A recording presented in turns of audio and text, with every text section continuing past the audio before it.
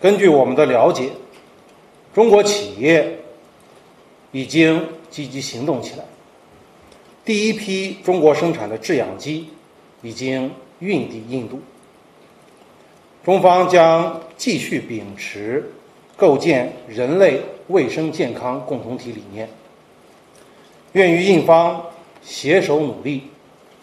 共同应对疫情给全球和地区经济带来的挑战，并随时根据印方的需要，向印度人民提供力所能及的支持和帮助。